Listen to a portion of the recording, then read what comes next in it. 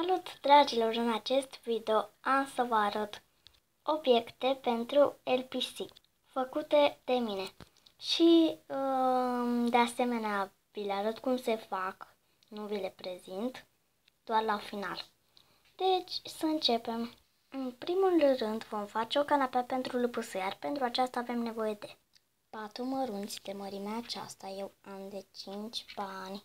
Un carton care trebuie să fie carton ca foaia colorată. Eu am așa. Și o să zic că acestea sunt modelele de pe canapea. Sunt frumoase, nu? Câteva bețe de urechi. O foarfecă. Lipici. Dacă nu aveți lipici din acesta, puteți folosi ori transparent, așa lichid sau lipici cu sclipici. Și scoci. Dar să nu uităm un lupusă. O să vă spun la final de ce ne trebuie acest lupusă. Iar dacă vreți, puteți folosi ce paiete vreți voi. Pentru început, fixăm mărunții în forma unei canapele în patru.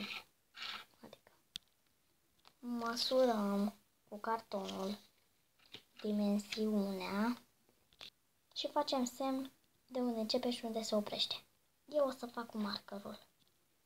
După aceea decupăm, luăm scociul și le lipim pe rând de bănuți. Și apropo, eu folosesc bănuții ca să arate ca o canapea adevărată. Cel puțin așa are canapeaua mea, dar nu bănuți. Eu am lipit cartonul de bănuți, iar acum avem nevoie de bețe.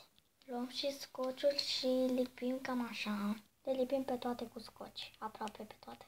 Iar apoi tăiem cu foarfeca din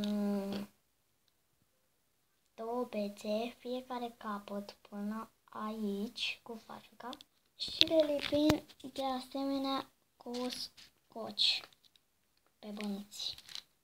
Eu acum cu lipiciul și sclip, cu lipiciul cu sclipici am să fac diferite modele. Și după cum vedeți, canapeaua este gata. Dacă vreți, mai puteți